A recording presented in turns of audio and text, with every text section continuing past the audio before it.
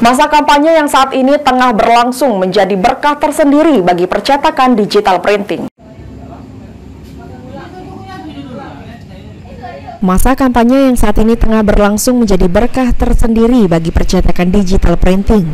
Seperti diungkapkan pemilik percetakan bintang stereo di Kecamatan Banyuasin 3, Kabupaten Banyuasin.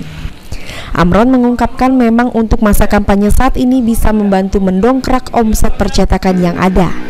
Karena sebagian besar banner dan spanduk dipesan tim sukses dari tiap caleg. Menurut Amron, kebanyakan percetakan banner, baliho, dan juga spanduk berasal dari calon legislatif lokal yang ada di Banyuasin.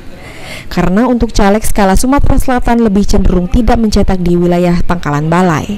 Meski musim kampanye, tetapi Amron mengaku lebih cenderung mengharapkan mencetak dari instansi tertentu atau swasta. Selain itu, mengharapkan dari kedua tempat tersebut, Amron juga mengaku berharap orderan lain. Dia berpengaruh, berpengaruh kan? Hmm.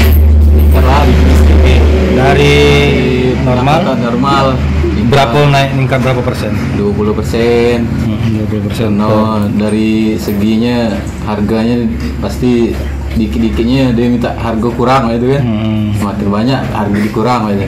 Nah itu. Iya.